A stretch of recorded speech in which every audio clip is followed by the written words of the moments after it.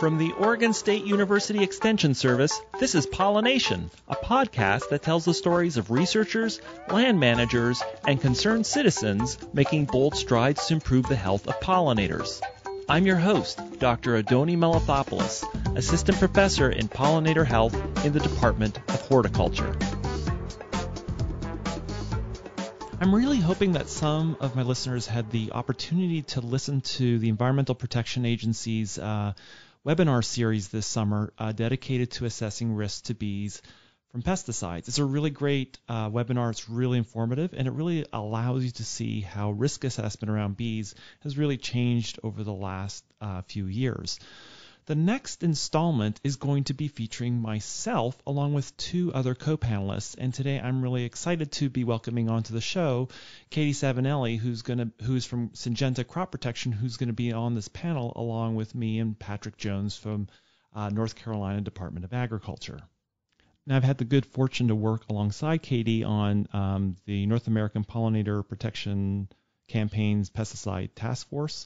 Uh, Caydee is um, Syngenta's U.S. stewardship team lead, and the stewardship team does things. They focus on things like environmental issues, endangered species, pesticide safety education, and pollinator and biodiversity conservation initiatives. In this uh, podcast, she's going to be talking about something that she's going to be talking about also on the webinar, namely this coalition of companies that have gotten together uh, called Growing Matters and recommendations for pesticide applicators uh, around pollinator stewardship called Be Sure. So, um, hope you enjoy this episode. Without further ado, here's Caydee Savinelli this week on pollination.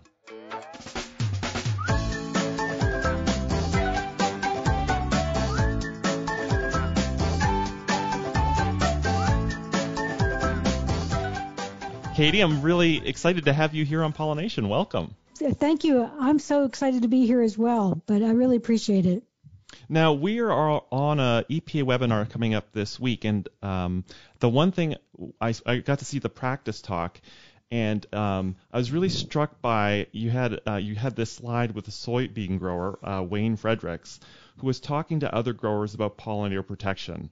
So it raises the question: Why is getting industry to convey the message around pollinator protection so important? So as, as industry, and when I talk about industry, we're the agricultural, chemical, and seed industry, and we really do believe the pollinators are important. We need them when we're growing seed crops, so that's one reason why. We also recognize that they're really part of the environment, and it's really important to protect them because we're not only protecting pollinators, but other insects, birds, etc., in the environment. So we want farmers to be able to farm on their fields, but then keep the rest in the environment for all of the species out there.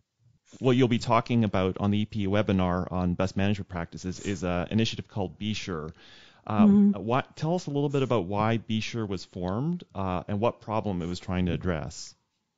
Certainly, and um, just you know, just to reiterate something about industry is that you know we have a lot of knowledge and best practices as well as resources for pollinators, and so we thought it really makes sense to get together, and so we got together with a number of other registrants, and we are allowed to work in this space because it's non-competitive. So in 2013, a number of registrants got together and said, okay, what can we do to enable farmers to still use our products and, and, the benefits of those products, but at the same time helping pollinators. So we we formed this this group called Growing Matters Coalition, and if you're interested in the Growing Matters Coalition, which has a lot of good information, it's growingmatters.org. And then part of the Growing Matters Coalition in 2000 last year, as a matter of fact, 2019, um, we formed this be Sure campaign. And really, the whole Be Sure campaign is to get the word out to as many different people as possible about how best to use pesticides, but at the same time protecting pollinators. I guess in that slide when you had um, uh, Wayne up there, that's what precisely what he was doing to a room of soybean growers, kind of getting that conservation message out to them. As, as well as the importance of having the right tools to be able to farm. So it's that it's that balance between tools for farming and also protecting pollinators. And Wayne is just for me a really remarkable farmer because he he gets it and they call him Mr. Monarch because he is such an avid lover of monarch butterflies and he's really he's really good so um he's he's great to work with and he's part of Iowa Iowa Soybean Association and, and Syngenta works closely with them on a number of conservation projects tell us about what are what are some of the key messages that are being conveyed when um, when talking to growers and applicators. You talked a little bit about this balance about you know maintaining products and having good pest control, but also uh, doing good pollinator stewardship. But tell us the elements on um, you know when when uh, what you're trying to convey and what's on the, the sort of checklist of things you're trying to get across. So the most important element, and this is for everyone that uses a pesticide, and when I talk about pesticides, I'm talking about insecticides, herbicides, and fungicides. So it's it's the whole realm. But the most important element is to read the label. Please read the label because it has information about directions for use, storage, disposal, and all of the important things that um, go into a label. When we, we also talk to farmers a lot about minimizing drift or dust. So in other words, when they're uh, pl- applying uh, seeds with, treated with seed treatments, they have to, you know, watch for the dust, make sure it doesn't go in the direction of where the beehives are. When they're making an application, be aware of where the beehives are, and it's it's really important. And, and there's a lot of a really good equipment out there that's very precise that really does keep the products on the field. But it's it's important for farmers as well as applicators because you know you have both aerial and um, ground applicators who are making these applications. Okay, so uh, read the label. Uh, make sure that uh, when you're applying things, you're really kind of conscious of uh, any kind of drift off field, really trying to focus on getting the product on the target rather than uh, drifting. Okay. Yeah, a few more. Um, certainly, when you clean the equipment, be careful where you're cleaning it because there's some areas that are considered to be, you know, more protected. So, you know, certainly, you know, watch where you're cleaning the equipment. And another thing that's really important, especially during either planting or applications, make sure if there are flowering plants either in the field or around the field to take care of them. In other words, to eliminate them so that way the pollinators are not coming into the fields or close by when they're making an application. And, and that's actually on a lot of our labels as well, is really, you know, eliminate that so you're not creating sort of this area that's kind of dangerous. And then the other part, which is really uh, we think is important, is really understand the crop bloom stage. So a lot of crops, let's say apples, stone fruit, that type of thing, they have a very distinctive time of blooming, and so that's when the pollinators are going to be there. And certainly with a lot of our insecticide labels, it says do not apply during bloom. So once bloom is over, it's less of a problem. But during the bloom time, certainly with insecticides, we want to be very vigilant and definitely follow the label. Yeah, and that applies not only to farmers but also homeowners. Oh, absolutely. I guess that is some. All of those concepts apply uh, on a field as in a backyard. Mm-hmm, exactly. Absolutely. Exactly. And in fact, just as an aside, I saw my neighbor spraying something the other day, and I said, "What are you spraying?" Because I thought if she's spraying a pesticide, she wasn't wearing proper clothing. But it turns out she was spraying something for the deer. But otherwise, I would have, you know, encouraged her to, you know, socks and shoes and gloves and that type of thing. So you know, you always have to be careful when you're spraying something. Okay, fantastic. Okay, that's great. Well, all right. So, um, is there any other elements that uh, um, applicators or growers need to be conscious of? Um, to me, one of the more important things is really know your beekeepers. You know, a lot of times farmers will allow beekeepers to put the, the beehives on their farms, and so you know they kind of work together. So know the beekeepers, understand you know what they're facing, and then also um, you know the beekeepers need to work with the farmers. So I think that's critical as well. Okay, so we, let's sum those up. So it's really kind of reading the label, making sure that product is staying on target, and where uh, there may be some uh, possibility of drift, really making sure to keep uh, the, those blooming plants down that are blooming at the same time.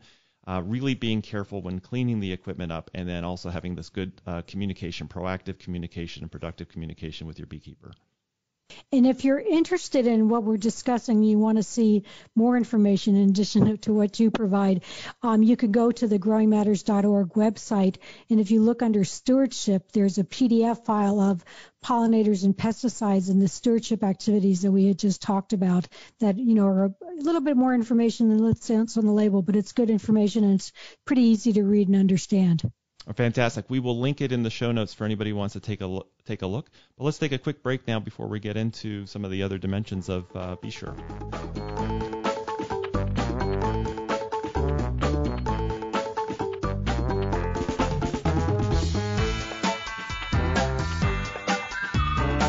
Okay, we're back. So um, I wanted to uh, just get into the how the Be Sure message gets uh, communicated to applicators and growers. So we have a lot of different ways to get the Be Sure me- message out there. Last year when we could travel, we were certainly going to a lot of the different trade shows, the farmer shows. I even had like a little um, quiz that they could take, you know, what's a bee, is a honeybee native, that type of thing. But it's really oh, wow. good to have some discuss. And everybody, half the people don't realize that honeybees are not native to the United States. So that was that was fun, but it's also fun to engage farmers in just having some dialogue, understanding you know how they understand about pollinators, understand even about integrated pest management and how they're using integrated pest management and and the importance of pollinators. So I think that I really like, but certainly with this year with our limitations on traveling, we have expanded to do radio shows, we do um, digital advertising, we also do um, advertising on either not advertising but Facebook, Twitter, all sorts of uh, digital platforms just to get the word out, just to remind people. And we've done a nationwide program this year, so it's not just last year was just corn and soybean growers in the Midwest. Now we're as far west as California and Florida. And you know, a lot of these messages are really basic, like read the label, all of these things, but people need to be reminded, and we like to remind them during either planting season or during the application season. So uh, I think right. that's really important to just constantly remind people and keep in mind a lot of um, farmers or applicators are listening to their radios. They hear some of the news stories that go on, and and they, and they hear that and they say, oh yeah, I have to remember that. That is really good, and I think that that is key. I like I like the the approach, both kind of like talking to growers at the trade shows, so you get to understand how to craft the message and like how it resonates with them, and then really kind of that reminder. I think that reminder is always so important because a farmer has to remember so many things, and it's great to get a little message on the radio. It's seeding time. Uh, you know, here remember these key messages around um, around seeding and pollinators. I think that's that's fantastic. And you know what I especially like? I love seeing the children. So you get to see the little, you know, the kids dressed up and, and they have different um, farmer outfit fits like John Deere and that type of thing. So I really love seeing the kids because the, the kids really sort of bring uh, the whole family element to these some of these meetings. So it's it's a lot of fun. Uh, and it's but the the one thing I did want to sort of pick up on I was during the practice webinar I saw like the thing is, like a lot of us in Extension do uh, um, social media outreach, but I was astounded at the kind of reach of this campaign. Like it's yeah. it, it, it's really got to a lot of a lot of people. so let me give you the 2019 statistics because we're still trying to gather 2020 because we're still really in the middle of it. So last year in 20 in 2019 we reached 80 million people through traditional me- media 15 million through radio oh, and 10 million through paid wow. digital tactics. So think of that. And a lot of people say, oh, are you trying to me- measure behavior? Not necessarily because it's hard. You have to have before and after. What we're really doing is trying to create awareness. And as I said, we did it in 2019. We're continuing in 2020. And I think this program will continue as we go on because it really does have a lot of value. Well, that is a good point. I do, th- and I, I think there's a lot of merit in that. I think, um, there are, I think that, and this is going to come out in the webinar. I think state lead agencies, uh, registrants, industry, and extension all can work together in a kind of continuum. And having that message out there, um, kind of um, really pervasive, allows us to do our job a lot better because uh, growers are already kind of hearing it and uh, understand it. Yeah, and we all reach some of the same people, but there's some other people that we may not be reaching. So you probably reach some people that our group doesn't reach and vice versa. So it's good to have lots of different things. And I think the other thing that's really important to me is that it's not just the company I work for, Syngenta. It's also the other companies that have the same messages. So that way we are, um, you know, not not saying and think we're saying the same thing rather than saying things that are, you know, antagonistic or whatever. And I think that's really important because this is something that we all believe in. Yeah, it's fantastic. Now, you, uh, you, you end the presentation uh, uh, um, underscoring the importance of growers and other land managers not just doing um, being really mindful about how they're using their pesticides uh, around high risk situations to pollinators, but also uh, about creating pollinator habitat. And I thought that was really exciting. It was a great way. It's a great way that you end the webinar. Is like there's this other growers are really good at putting things in the ground, managing things. They're this, they're they're probably the best people for establishing pollinator habitat anywhere. They know what they're doing. um, you say that, but there does there is a certain level of expertise planting flowers that's different than let's say planting oh, okay. corn. Yeah. Because let me give you an example. I was working with a, a fellow in our a farmer in um, Mississippi, and I had sent him some seeds last year through our Operation Pollinator program. And he wrote back to me and said, Oh, you know, it kind of looks not so good this year. Could you send me some more seeds? So I said, Sure, certainly. And what he did was he wrote back to me and said, I went out again this year because this is year two it looks great. so a lot of times when you're planting these things, you have to wait for the second year to really see the effects. But he was very happy. And so we work with a lot of different farmers and especially the you know a lot of the farmers that we work closely with to provide them seeds to plant um, the forage and habitat. I work with a number of other groups such as um, Bee and Butterfly Habitat Fund, and they also have technical expertise, mainly in the Midwest, but they're expanding and they're doing um, butterfly habitat monarch butterfly habitat as well as honeybee habitat. And so that's that's been fun. Who else do I work with? Oh, you didn't mention golf courses are also a really great place to grow. They are. Uh, because you have all those out of play areas. And we've been working with the Audubon Society because they have a program called Monarchs in the Rough. And they're working with a lot of golf courses to plant milkweed around the country for the monarch butterfly. So that's been fun.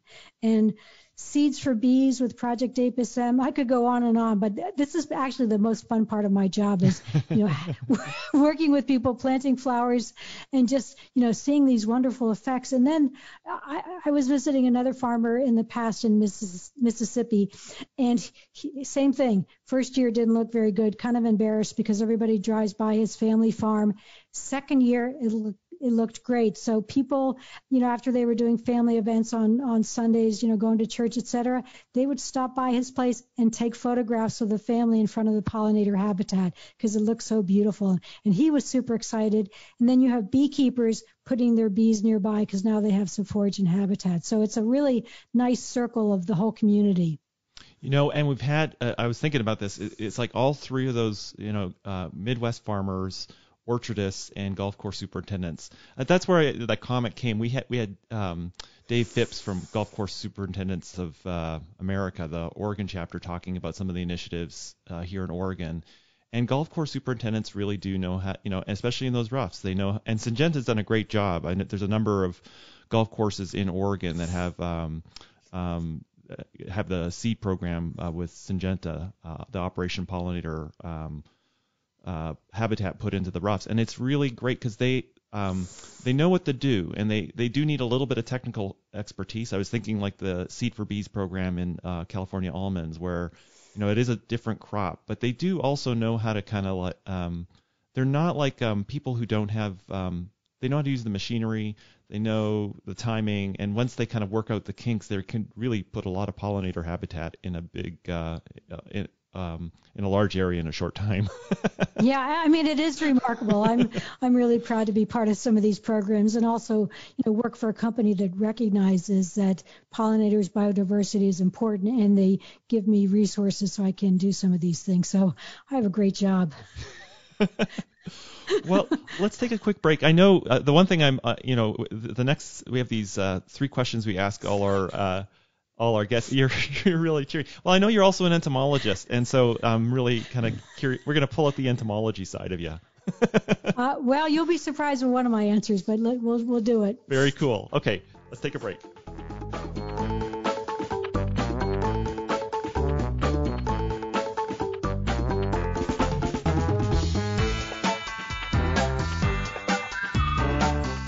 Here we go. Okay, we're back. So the three questions. So first question is: Is there a uh, book recommendation? I have two book recommendations. That's okay. You got two. Yeah. so um, the first one I was looking at is, you know, when we talk about pollinators, and I'm an entomologist by training, so I actually love all insects. So when I was thinking about this, everyone's thinking about bees and that type of things, but you know, people also classify butterflies as pollinators. And so I was looking through my books yesterday, and I came up with the Illustrated Encyclopedia of the Butterfly World by Paul Smart. And it's a lovely oh, book. Oh, really? It's got um, it's got Ooh. lots of nice photos, and they're they're by families, which I like because some butterfly books don't have them by the you know the classification. I prefer classification, being a scientist. So I think this is a really good, eh, simple book just to really see some really beautiful um, photos of butterflies. And it's like I'm looking at it. You're holding it up. It's kind of coffee table size, and it has really large. Uh, it looks like it has really large illustrations. So it's just um, um, and it, uh, it does it Oh yeah, look at that. Isn't that pretty? Oh yeah, you guys want this book. It's like pages of butterflies. and and as I said, they're they're classified by families. So I went on a butterfly tour a couple years ago, and I'd say, "What family is that?" You know, the butterfly experts don't necessarily know the families; they know more of the species. But I'm interested in the families, being an entomologist, because then it helps me understand is it like a, something like a monarch butterfly, which is an nymphalid, or, or you know, a, a large butterfly like a Saturnia, that type of thing. So sorry to get too techy. no, that's perfect. So, since I was talking a little bit about forage and habitat, I am part of the Native Plant Society in North Carolina where I live, and they just came out with a book called The Southeast native plant primer. Now, this is primarily for the southeast, oh, but certainly there's book. probably a lot of native native plant books that are available. That if you're really interested in planting things around your yard and garden, and, and you know, look look to natives because natives have a lot of benefits. And um, you know, in addition to the ornamentals, and they have some really pretty pictures, and they talk about um, what's attractive to them. So it's bees and butterflies and that type of thing. Oh, great! So it has the description of each. It's it's 225 uh, uh, plants, and it has some. Uh, it has a picture. It, it shows you an icon of what kind of pollinators will be attracted, and a description of each one of them. That's really great and a description of the plant and you know how they grow whether or not you know spring fall summer you know are they in the woods do they need sun that type of thing so i just got this book the other day i was on a zoom call another zoom call on sunday but this this was really a lot of fun and in fact they're having a call in um, september about butterflies so that should be fun. You know i i find with i'm i'm so bee focused i uh, but what i find the thing that i get puzzled with with bee plants is like you know there's a couple great plants and you know it's good to have uh, you need the diversity obviously but it seems like the diversity of plants takes a whole different spectrum when you think about you know uh, butterfly and moth host plants. Like it's a yeah. quagmire. Well, t- to me the go-to plant always are mints mints everybody loves mints yeah. and and mints you can always tell because they have a square stem so if you um you know it has four sides to the stem so it's square yeah. and opposite leaves so mints I have mints in my yard all over the place. They love them. And the other plant, which I think you can plant in Oregon, is Joe Pye weed. Joe Pye weed is a bee magnet. And butterfly magnet. It is. It's unbelievable. so they're flowering right now at my house, and they're just like, woohoo! Fantastic. That's what I do on my spare time. What what better what a better thing to do? I have to I have to agree with you. I do it too. I know. It's sort of, I, I'm so happy I became an entomologist because it's not just work, it's also outside. So I, I enjoy it completely. Well, that I guess that's the thing with a lot of pollinators. Like other insects can be nocturnal and hard to, uh, but with you know at least with bees and butterflies, moths notwithstanding, they're easy to observe, and you can really, um, even as a beginner entomologist, you can really um, learn stuff fairly oh, yeah. quickly. and with a few exceptions, most people like butterflies. I have met students that are actually afraid of butterflies. So I don't understand it, but most people don't even think of butterflies as being insects. So it's a really good gateway to learning more about insects. Absolutely. Okay, so our next question is Do you have a go to tool for the kind of work that you do? I do.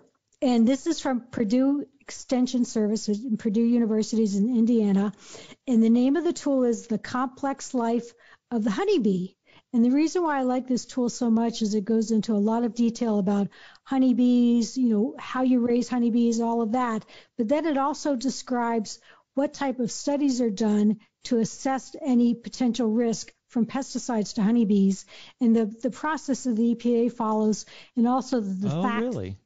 Yeah, yeah, yeah, yeah. The fact that the label has the label actually represents all of the risk assessment. So, you know, when we say do not apply during flowering, that's part of the risk assessment and the timing and everything. So this, if you haven't seen this, um, you have to download it because it's about 60 megabytes, but it's a really good layman's person's um, information. Oh, I love it. I recommend it to everybody, you know, not just people that are in the science area, but it's really, really good. And uh, Tom Steeger, as you know, he was on the from the EPA. He was one of the authors. You know, Syngenta has one of the people that was an author. But I think if you really want to understand what studies EPA does and how they assess risk. This is good, as well as understanding, you know, the whole honeybee life cycle and and and some of the issues they're facing. That's fantastic. I do I, when I talk to applicators, one of the first things we we break a colony down, and they're always fascinated. Like you know, the bees get moved in, they moved out, but they don't know the moving parts of it or how it works, and mm-hmm. they, they're always fascinated by it.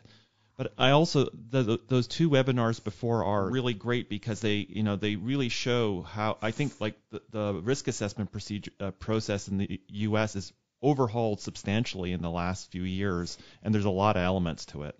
There's a lot of elements. It's it's um I really think it's good because we're not only looking at adult bees, we're also looking at the larval bees, which I think is important.